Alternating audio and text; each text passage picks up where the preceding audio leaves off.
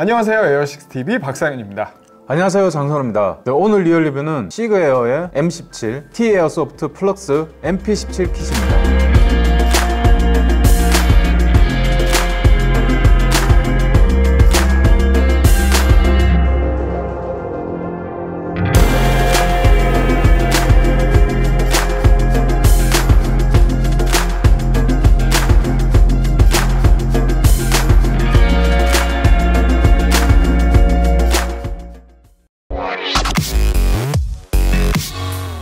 FLUX kit은 Glock용 arm brace로 많이 알려졌고 그렇게 많이들 알고 계실 텐데요. 처음에는 SLS 타입 프린터로 출력한 제품을 판매를 하다가 이후 판매량이 많아져서 플라스틱 사출로 양산을 하게 되었죠 그리고 탄창 수납 형태의 보조리까지 출시를 하였었는데 오늘 소개해드릴 FLUX kit은 SIG M17을 직접 조립해서 일종의 SMG로 사용할 수 있도록 해주는 conversion kit입니다. FLUX사에서 영상을 처음 공개했을 때 아 이제 곧 레플리카 제품도 나오겠구나 생각을 했는데 생각보다 한동안 안 나오더라고요. MP17 kit도 Glock FLUX kit과 같이 SLS 프린터로 출력한 제품이었는데 레플러 만들면서 출력 품질이나 강도 때문에 제작이 쉽지는 않았을 거야. 저도 Glock FLUX kit을 구했었는데 장착해서 작동되게 하려면 가공을 되게 많이 해야 되더라고요 이거 언제 갈지 이거? 멈춰! 멈춰! 그리고 이 kit은 구독자분이 보내주셨는데 자료를 찾다 보니 이게 신형이 나왔네 신형의 Raider는 초기 버전보다 사용자 편의성과 조작성에 중점을 둔 개량이 많이 되었는데 고강성 폴리머 소재로 변경되었고 프레임에 ambi safety 레버가 추가되었으며 확장형 베벨, stock 레버를 이용한 slide release 기능, dual 탄창 release가 추가되어 탄창 교환이 빨라졌어. 그리고 장착도 drop-in으로 굉장히 쉬워졌어. 아, 아쉽네. 그거 사면 좋았을 것 같은데 그건 또 언제 나오겠니? 이 kit은 EB Airsoft에서 예약 판매를 했었는데 T Airsoft FLUX 스타일 brace로 출시가 되었고 SIG AIR P320 M17, M18 전용 제품이야 초판은 예약 판매로 완판이 되었고 추가 입고된 것도 보니까 또 순식간에 판매가 되었더라고 뭐 인기가 꽤 많네 형이 보니까 제품은 어떤 것 같아요? 본체 출력 상태는 굉장히 준수한 편이야 SLS 프린터 특유의 표면 질감이 있지만 질감 자체가 상품성을 해치는 FDM 타입하고 달리 오리지널 오리지널과 동일한 방식의 출력 품질로 충분히 상품성이 있는 수준이야. 나일론 소재를 이용해서 제품 강도가 꽤 높은 편이거든. 어, 외부 마감도는 제가 봐도 꽤 괜찮아 보여요. 그리고 형이 출력하는 제품은 간혹 결 따라 부러지는 경우가 있던데 이 제품은 그런 건 없나 봐요? SLS 프린터는 가루를 레이저로 녹여서 적층시키는 방법이라 그런 건 없어. 그리고 FDM하고 달리 이렇게 구조가 복잡한 것도 한 번에 출력을 할 수 있어. 어? 우리도 하나 사자.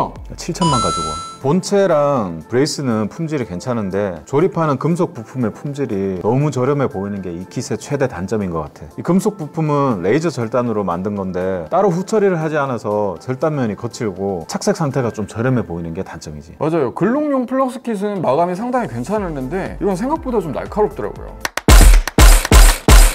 집탄은 10m에서 3번씩 3회, 가스는 green gas, 비비탄은 0.2g 탄, 현재 실내 온도는 23.7도, 매거진의 온도는 21.9도입니다.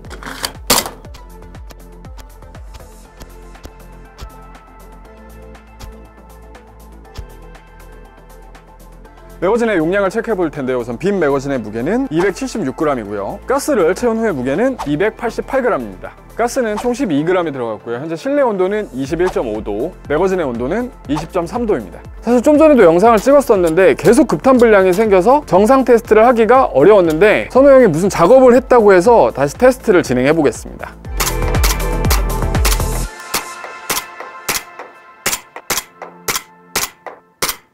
네, 이렇게 확인을 해봤는데요. 현재 카운트는 136발까지 되어 있지만 실제 작동은 130발 정도였습니다. 하지만 그것도 120발 이후부터는 매거진의 온도가 10도 정도로 급격히 낮아져서 slide stop이 걸리지 않았기 때문에 정상 작동 범위는 120발 정도로 봐야 할 것 같습니다. 분명 아까까지 탄 걸림이 굉장히 심해서 테스트를 못했었는데 어떻게 된 건지 지금 다시 작동이 되네요. 자세한 수정사항은 엔지니어 리뷰에서 확인하시면 될 것 같습니다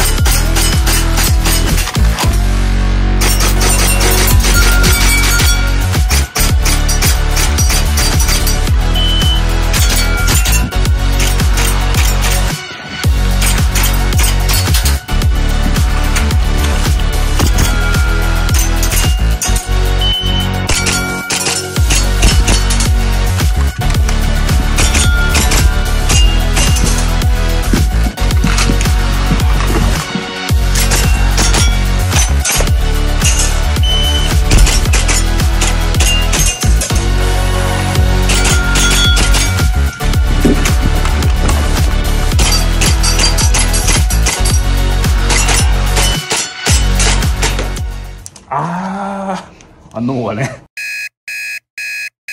뭐 어떻게 한 거야? 이거 M18 때는 쏘기 너무 힘들었었는데. M17, M18은 구조가 동일해서 이 총도 작동 부조화가 생길 수밖에 없어. 비비탄이 장전되었을 때는 blowback이 약해지고 심할 경우 한 발 쏘고 걸리고 한 발 쏘고 걸리고 계속 반복이 되는데 직접적인 원인은 한 번에 많은 가스양을 넣다 보니까 냉각에 취약한 게 가장 큰 문제점이야. 그리고 노즐 밸브의 위치가 다른 GBB랑 다르게 뒤쪽으로 딱 붙어 있지. 어, 그러네. 이 상태에서 비비탄이 발사가 되고 밸브가 가스 흐름에 빨려 나가서 앞을 확실히 막아 주어야 되는데 탄창이 조금만 냉각이 되어도 가스 유속이 느려져서 밸브가 앞쪽을 확실하게 막지 못하는 상황이 생겨. 그래서 밸브 위치를 다른 GBB처럼 앞쪽으로 이동시켜줘서 이동 거리를 줄이면 해결될 거라 생각했지.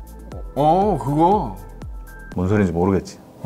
그런데 이 시그 M17과 M18은 밸브의 이탈을 막는 핀이 다른 제품과 달리 한쪽으로만 박혀 있어. 그래서 분해를 할 수가 없는데 이 핀은 생산 시기에 따라 볼트로 고정된 것도 있어. 볼트로 된 건 분해를 할 수 있지만 대부분 핀 방식으로 되어 있어서 분해가 불가능한데 이때는 밸브가 앞쪽으로 이동하지 않도록 공구로 고정한 다음에 뒤쪽에서 2.5mm 드릴로 구멍을 뚫고 무두 나사를 끼워서 밸브를 앞으로 약 3mm 정도 이동시켜줬어. 이렇게 하면 탄속은 약간 줄지만 확실히 작동을 할 수 있게 되는 거지. 아, 진짜 이렇게 하니까 탄창 용량 테스트 때도 그렇고 슈팅 장면 때도 이전처럼 malfunction이 생기는 일은 한 번도 없긴 하더라고요. 아, 그리고 한 가지 더 있어. 이 총이 blowback 되고 노즐이 return될 때 한쪽으로 꺾인다고 M18 영상 때 얘기를 했었잖아. 이 총도 냉각이 되면서 blowback이 조금 약해졌을 때 노즐이 꺾이면서 슬라이드가 걸리는 증상이 있어. 그래서 blowback 유닛의 각진 부분을 둥글게 다듬어서 노즐 return이 원활하게 해줬어. 어, 그러네. 작업 전보다 확실히 부드러워진 것 같다. 근데 우리가 테스트한 이 한 자루만 그런 거 아닌가요? 한 자루만 테스트한 게 아니라 M17, M18 한 세 자루 정도에다가 상당히 많은 발사 테스트를 내보고 낸 결론이라 확실할 거야. 지금까지 냉각 때문에 M17, M18을 못 쓰던 분들한텐 진짜 희소식이 될 것 같네요. 그리고 우리 매치 때 M17, M18 갖고 오시는 분들은 꼭 급탄 불량이 생겼었잖아요. 이제 매치나 게임에서도 충분히 쓸 수 있을 것 같아요. 슬라이드 스톱의 경우에는 M18보다 M17의 홈 간격이 뒤쪽으로 더 넓긴 하지만 냉각이 심해지면 슬라이드가 완전히 후퇴되지 않아서 슬라이드 스톱이 걸리지 않는데 이건 홈을 갈아서 넓히지 않는 이상 해결 방법이 없어. 근데 왜 앞에 매거진 수납은 끝까지 꽂지 말라 그랬어요? 이게 실총 기준으로 설계된 제품이라서 airsoft gun을 꼽으면 탄창이 빠지지가 않아. 별도의 고정 멈치가 있는 게 아니라 자체 탄성으로 고정하는 거라서 airsoft gun 탄창은 이렇게 빠지지가 않더라고. 그래도 사용할 거라면 안쪽 돌기 부분을 가공해 주는 게 좋을 것 같아. 아, 그리고 글록용 Flux kit은 레버를 누르면 stock이 끝까지 나오는 데 얘는 나오다가 말더라고요. 글록 Flux kit은 금형 스프링을 사용했는데 얘네는 일반 코일 스프링이야. 스프링 탄성이 조금 약해서 그래. 제품 자체는 전체적인 특징을 잘 재현한 제품이지만 조립용 부품의 후처리가 조금 아쉬운 제품인 것 같아.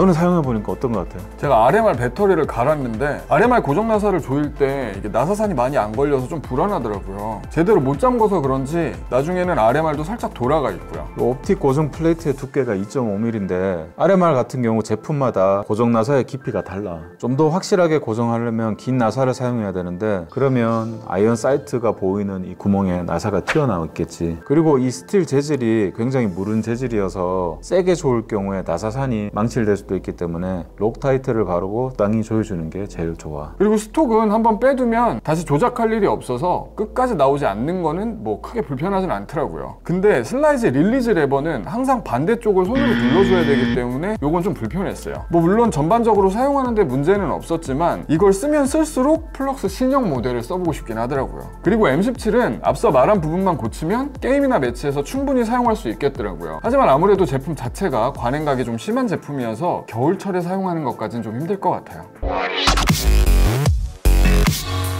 오리지널 제품이 신형으로 출시가 되어서 약간 뒤늦은 감이 있지만 Flux kit은 제품 자체의 특징적인 부분들과 간단한 장착성으로 handgun을 SMG처럼 사용할 수 있다는 것이 소비자들의 이목을 끄는 점이 아닌가 싶습니다. 제품의 제작법을 고려하면 나름대로 합리적인 금액의 레플리카라고 할 수 있을 것 같습니다. 비라이선스 제품이지만 오리지널이 미국 이외에 해외에 판매를 하지 않는다고 하니 구매할 수 있는 유일한 제품인 것 같습니다. 그리고 기존의 M17, M18이 작동 불량 문제로 스트레스 받으신 분들께 해법을 제시해 드릴 수 있는 기회가 된 것 같네요. 이 제품은 EB 에어소프트에서 판매가 되는데요. 판매 금액은 205달러 정도입니다. 다만 일회성 판매에 그칠 확률이 커서 파손되었을 때 부품 수급이 약간 어려운 문제는 있을 것 같습니다. 네, 오늘은 T 에어소프트사의 플럭스 MP17 암브레이스 킷과 M17, M18의 작동 불량 해결법을 살펴보았습니다. 구매를 하려는 분들에게 참고가 됐으면 하고 제품을 가지고 계신 분들은 의견을 남겨주시면 좋겠네요. 그럼 오늘 여기까지 이상 에어6TV 박상현이었습니다. 장소 였습니다. 뭐 봐? 어, M18 달라고.